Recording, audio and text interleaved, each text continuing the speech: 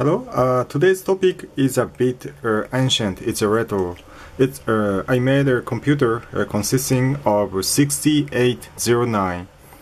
It's a 6809 uh, made by Hitachi and consisting of uh, SRAM of 256 kilobit. It's 32 kilobyte, and this is a EPROM 16 uh, kilobyte 128 kilobit uh, EPROM with uh, MC6850 asynchronous communication interface.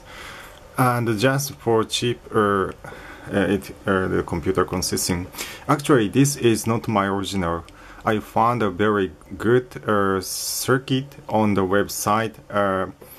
Uh, I will show on the reference uh, in the instruction of the of this video, but I found it was very good, and uh, I made a PCB by using the 21st technology, 21st century technology, but the, all of them are made in 1980s.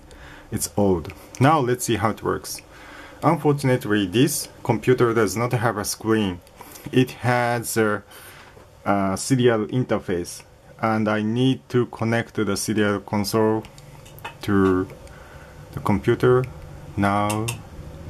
Yes. As you see uh, it's showing the 6809 extended basic. Now I will show uh, just a diff uh, example. For example a equals to 0 to 66.2 step 0.2 actually this is this basic supporting a floating point. So tab example 40 plus sine a uh, times for example need 20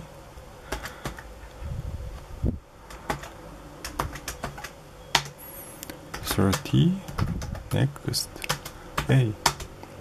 Let's see the list. It's working and let's run.